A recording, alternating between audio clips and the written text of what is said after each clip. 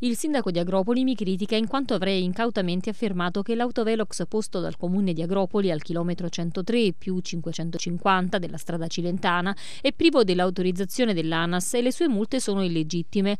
È mia abitudine documentarmi prima di parlare. È chiara la risposta fornita dall'ANAS a uno degli innumerevoli utenti colpiti dalle salate multe, occultandone il nome nel rispetto della normativa che garantisce la privacy, come rappresentato nella foto pubblicata nei commenti. A scrivere il senatore Francesco Castiello in risposta al comunicato stampa di alcuni giorni fa del primo cittadino di Agropoli Adamo Coppola riguardo la validità dell'autovelox. A tutt'oggi, continua Castiello, l'ANAS non ha preso alcuna decisione, non essendo stato ancora eseguito il sopralluogo che dovrà essere realizzato con l'intervento dei rappresentanti del comune di Agropoli e dell'ANAS stessa. L'animosità con il quale il sindaco di Agropoli difende il suo autovelox fino a negare l'evidenza documentale rende legittimo il dubbio che tale apparecchio operi soprattutto a vantaggio delle casse comunali, aiutando a risolvere problemi di bilancio. Sarebbe utile, rimarca Castiello, controllare il bilancio di previsione per riscontrare l'entità delle somme che il comune conta di incassare per merito del mitico apparecchio, produttore di cospicue e provvide entrate, ma sarebbe anche utile ascoltare cosa ne pensano i numerosi pendolari che transitano per la Cilentana per esigenze di lavoro, i quali, dimenticando per un attimo di tenere gli occhi incollati sul contachilometri e superando, pur solo di qualche chilometro, il limite di velocità, si vedono notificare salatissime multe nelle quali si disperde gran parte del proprio salario.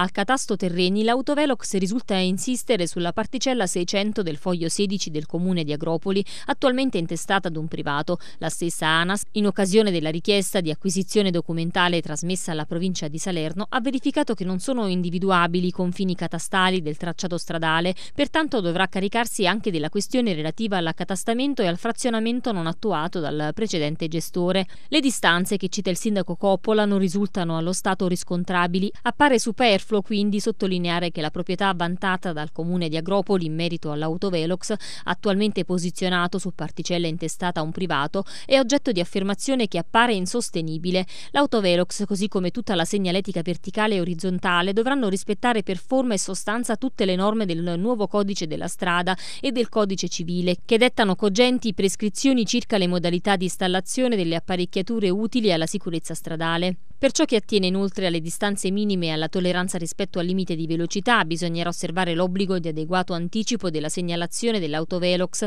rispetto al luogo del rilevamento della velocità, in modo da garantire il tempestivo avvistamento. Inoltre occorrerà mettere in sicurezza la barriera che protegge gli automobilisti da eventuali impatti col palo di sostegno dell'autovelox. Quella attuale è fuori legge, sottolinea Castiello.